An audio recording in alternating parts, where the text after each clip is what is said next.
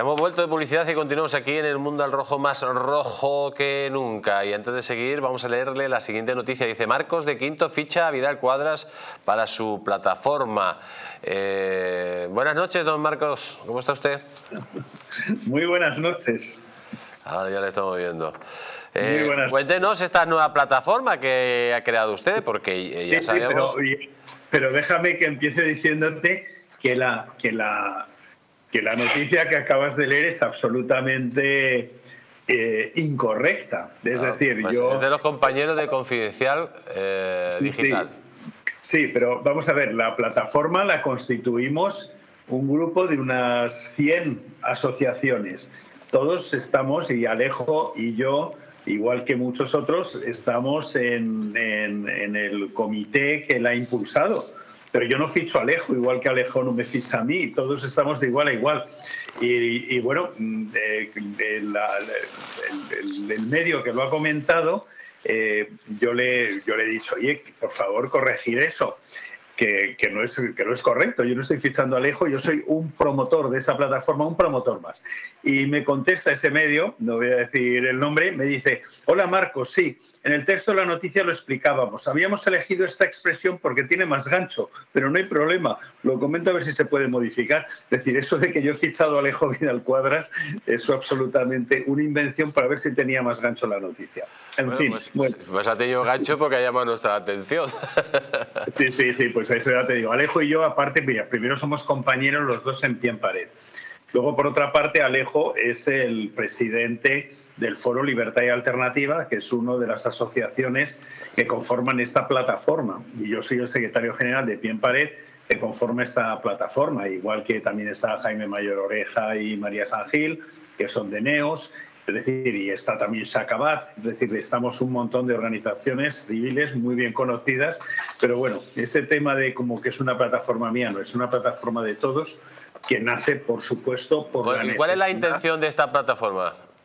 Sí, pues exactamente esta plataforma nace por la necesidad de coordinar a todas las asociaciones civiles de cara a todas las actuaciones que queremos eh, implantar en la calle en el futuro inmediato, dado la deriva que está tomando pues, eh, el gobierno y el riesgo que existe para nuestra democracia.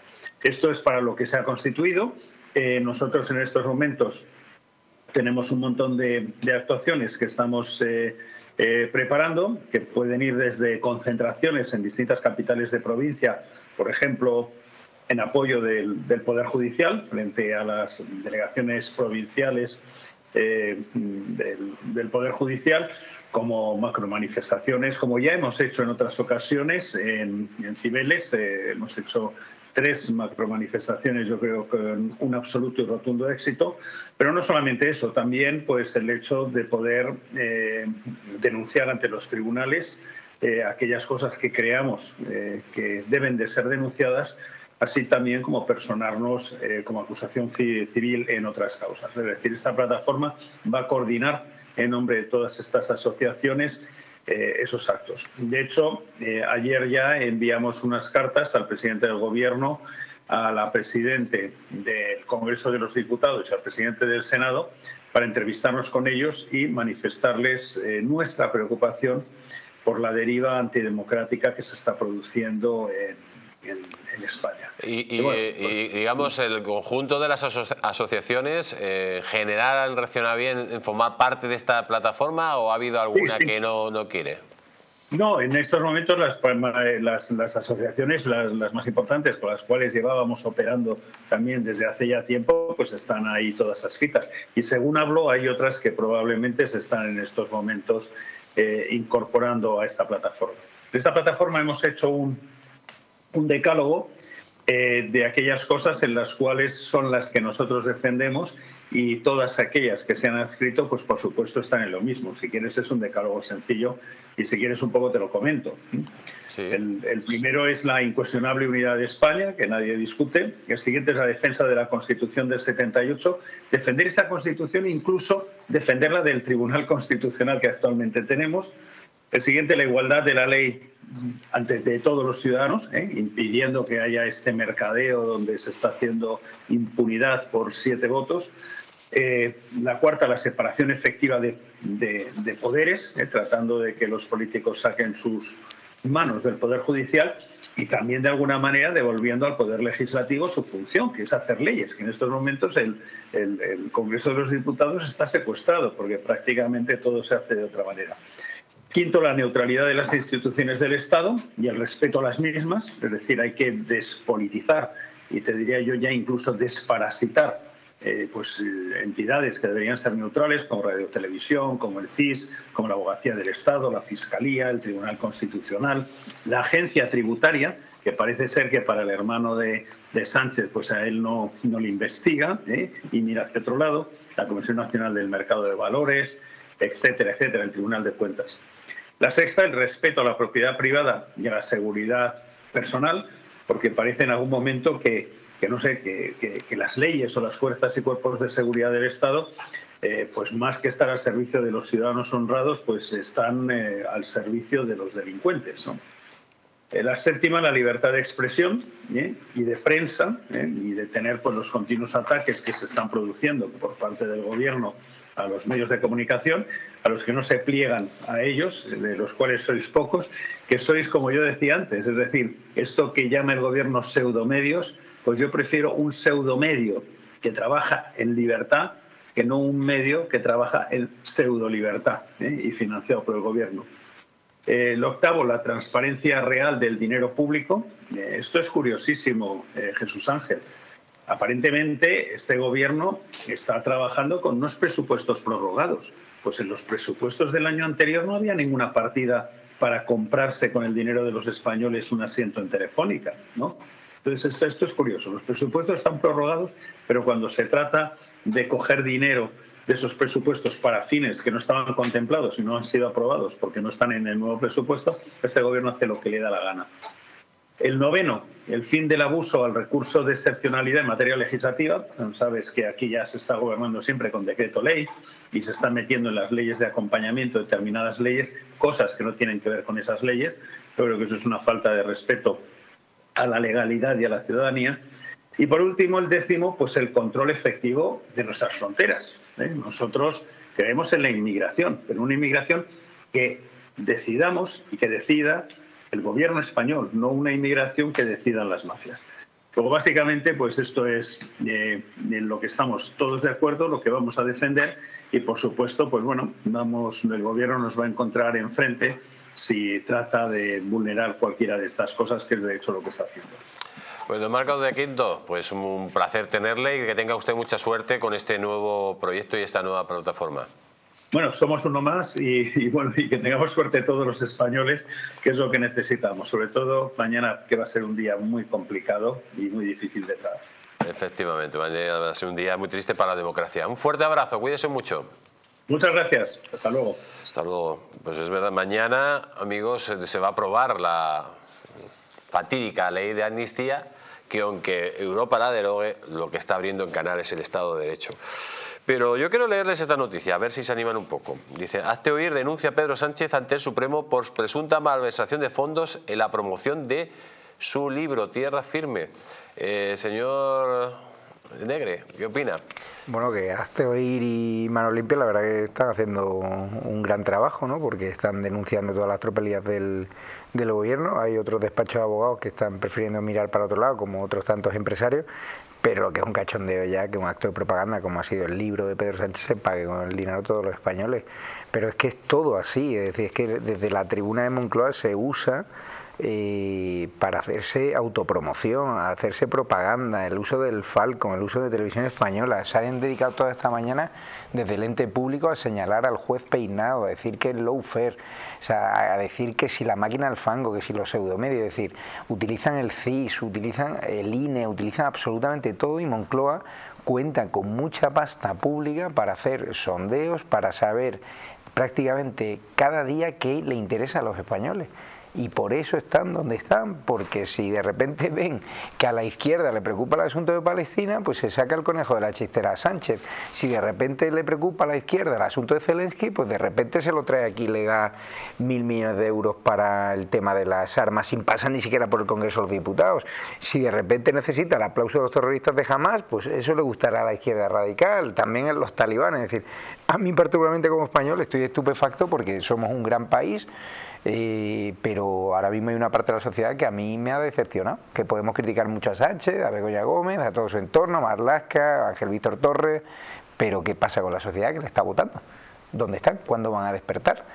Y muchos colegas venezolanos que viven aquí, que han venido advirtiendo durante años de que lo que ha ocurrido en Venezuela va a ocurrir aquí, o, o amigos cubanos, pues estamos viendo como ahora no paran de recordarlo y con razón. Y esto va a ser de un día para otro. O sea, lo están haciendo muy lentamente, pero están siguiendo los mismos pasos que siguieron en Venezuela o que hizo el kirchnerismo en Argentina con la ley de medios, por ejemplo. Totalmente, la verdad que vamos a pasos agigantados. Hay, colegas míos también venezolanos pues nos lo dicen, ya llevan tiempo advirtiendo y la verdad que da pena que la sociedad, los españoles, no, no, se den cuenta de lo que está sucediendo y al final son partícipes de, de, su propia responsabilidad, ¿no? Porque aquí hay mucha gente... cree que ante la situación que estamos viviendo los ciudadanos se tendrían que movilizar y ya, por ejemplo, decir, vamos a hacer insumisión fiscal? Porque lógicamente este gobierno no representa los intereses generales, pues eh, por lo menos lo que encima pagamos los impuestos y, está, y nos levantamos a las 6 de la mañana, decir, hasta aquí hemos llegado. Y el hermano de Sánchez, ¿no? Ha abierto la veda, ¿no? Si Pero no, ¿no habría que hacer una revolución de, la ciudadanía en ese sentido. Bueno, yo soy más práctico el tema de en las urnas que, que no, no entiendo cómo se puede seguir votando a Sánchez, creo. ¿Pero usted cree que Pedro Sánchez gana las elecciones por la buena? Porque es que aquí hemos demostrado cómo el 23J dio un auténtico pucherazo. yo conozco gente que vota a un partido político como el que es del Real Madrid o del Atlético de Madrid, igual. pero pues, si se van unas elecciones, por lo menos que se cumpla la ley, no se hace la... Eh, no se cumple la LORET, no se suman las actas, eh, Indra es una empresa que no puede ser contratada por el Estado porque ha sido condenada por la Audiencia Nacional por precisamente fraude, eh, estafa. Eh, le están pidiendo las auditorías a, Marlasca de Indra para ver qué pasa con el código fuente, que es la clave para manipular o no, y no lo da. entonces, claro, en, en, unas elecciones con unas garantías muy precarias, ¿no? Sí, sí. Te podemos, a ver, puede haber algo, pero viendo cómo funciona la ley DONT y el reparto de escaños, al final, si en una pequeña provincia donde se reparten pocos escaños hay más opciones de partidos de la derecha, pues al final los restos se lo queda el, el PSOE. Eso es lo que pasó, que al final en Moncloa hicieron una gran estrategia de movilización en provincias clave y hubo provincias donde el, PP y Vox rivalizaron y esos restos beneficiaron a a la izquierda y eso hablando con PP y con Vox que algo saben de sociología y de demoscopia te dicen que entienden lo que pasó el 23 de julio. Hubo mucha gente que se quedó sin votar y las provincias claves Sánchez a través de la microsegmentación en redes sociales y Facebook y vendiendo mensajes como que si Feijóo era amigo de los narcos como si Vox en la ultraderecha. Realmente hay gente que, que piensa que Santiago Abascal es un tipo peligroso y que va contra nuestra soberanía nacional y que es un tipo que quiere instaurar aquí una dictadura. O sea, Santiago Abascal, desgraciadamente, porque yo lo conozco y es un tipazo y una persona que, defiende la libertad, hay, genera rechazo en una parte de la sociedad porque le han generado tal estigmatización con lluvia fina desde las terminales mediáticas del gobierno que al final hay gente que cuando yo voy a desayunar a determinadas cafeterías y ves que está puesto televisión española o ves que está 4 o ves que está Telecinco y están poniendo a parir a Vox, pues al final el, señor que está a mi izquierda, a la derecha, normalmente hay gente que no ha tenido a lo mejor la suerte de, estudiar o la suerte de tener un criterio o personalidad propia y, ve televisión española y se lo cree. Entonces hay que contar con eso, que en el círculo que nos movemos nosotros, pues eh, la gente este, se informa, la gente tiene criterio, pero hay un votante de la izquierda que no da para más, que son borregos y que votan, como decía nuestro compañero, como si fuese el Madrid o el Barça o el Atleti y en la derecha yo siempre lo digo, la, gente tiene mucho más criterio, tiene mucho más argumentos y lo que está pasando en este país no tiene ningún tipo de recibo y yo lo que pido es que haya una revolución civil, pacífica y digamos ya basta, pero es que mañana se vota la ley de amnistía, hemos estado días eh, eh, manifestándonos en Ferrat, aún siguen un centenar de personas todos los días ahí, pero ¿y el resto dónde están? Yo hago el papel de, nuestros medios de comunicación y, y trabajamos y nos matamos por darle voz a los partidos que pueden ser la alternativa pero el resto de ciudadanos, ¿dónde están?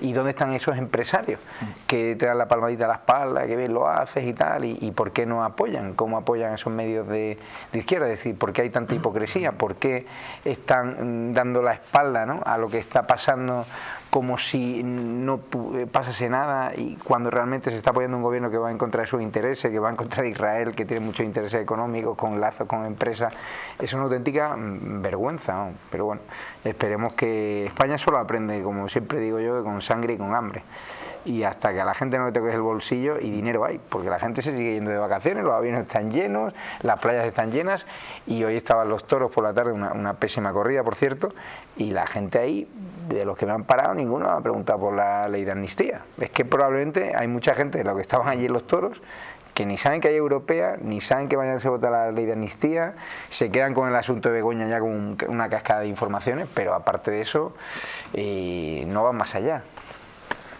Muy rápido que estamos ya terminando. Eh, sí que hay un votante que no hay nada que hacer y además está totalmente engañado, mediatizado por todos esos medios y tal, pero yo estoy convencida que el PSOE ha perdido voto.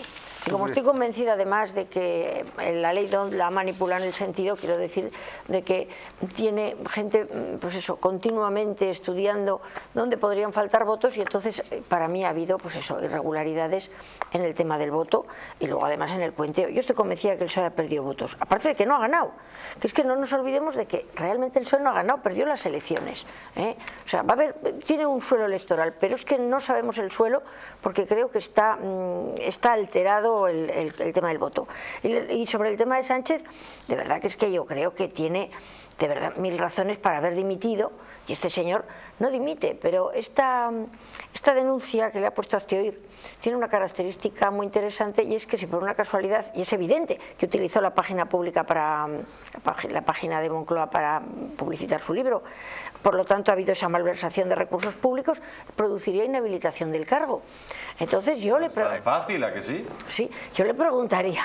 Es que no, pero es que Sánchez lo ha reconocido que utilizó eh, recursos públicos. Bueno, pues es que supondría su inhabilitación. Yo le preguntaría a, Carlos Hugo, eh, vamos a ver, eh, si este señor resulta que lo consideran culpable y le hacen y le reconocen una inhabilitación de cargos públicos y este señor dice que no sale de la Moncloa, ¿qué hacemos?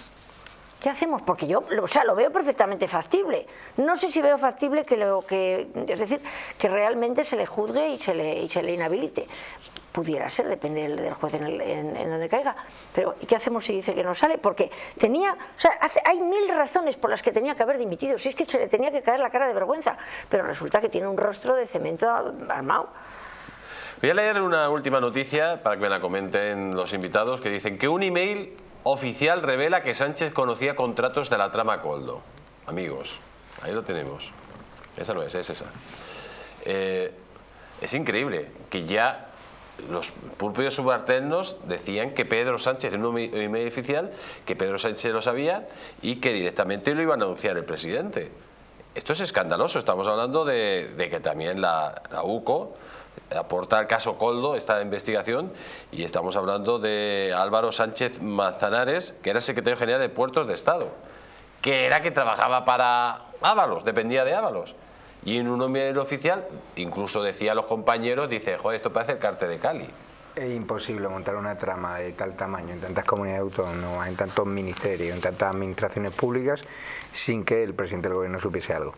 Al final, yo tengo una empresa y si hay tanto movimiento, si hay tanta colocación de mascarillas, al final Coldo es un tipo que se le ve venir y Ábalos también, me refiero que no son tipos discretos y allá por donde iban pues iban montando unas correrías que no es.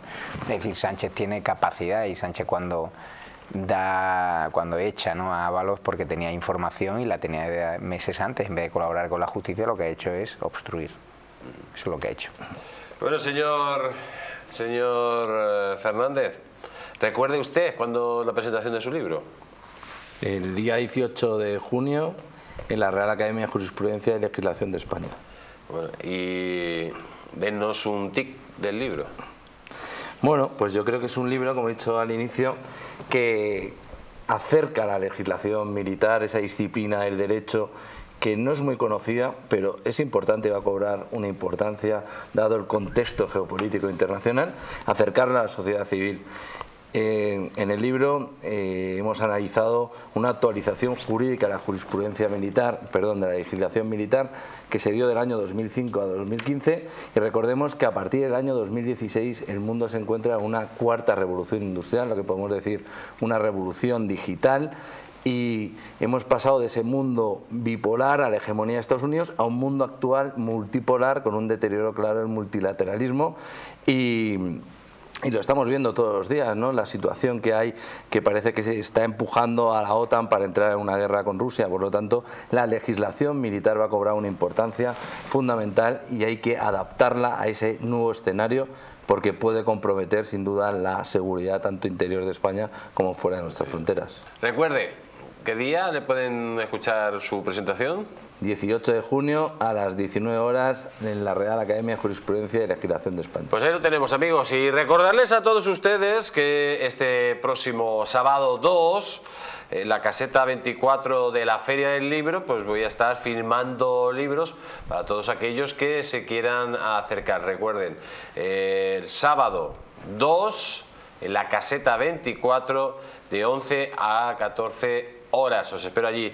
Y por último voy a darles una recomendación a todos ustedes. Dicen que el principal riesgo de tener alto el colesterol son las enfermedades cardiovasculares.